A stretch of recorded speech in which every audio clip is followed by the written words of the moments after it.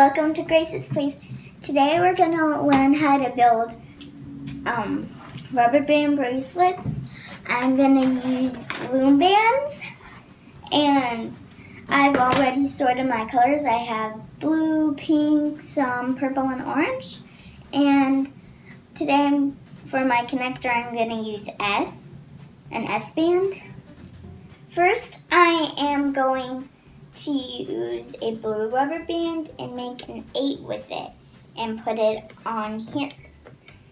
Kind of low but not so low.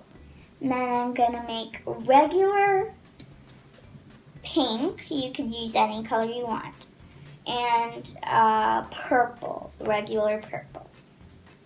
And I'm to take the bottom, the bottom one, kind of twisted. I'm going to take the bottom one,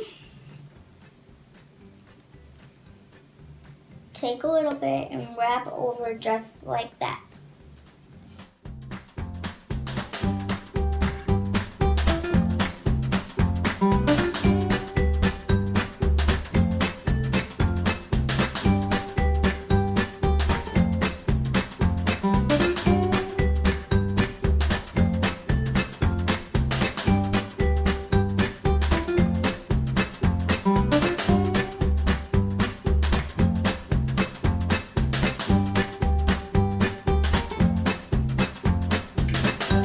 So there are other ways you can make these kind of bracelets, like wrap them all the way down and read the instructions.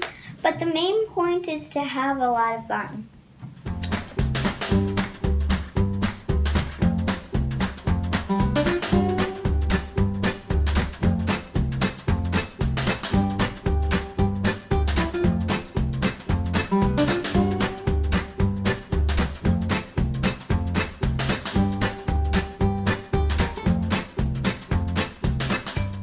So I you have to um, add an extra one, doesn't matter what color it is. I already did that because first you're gonna take gently take this off and then take the top one off just like that. You have to be very careful and then close it and get your S band.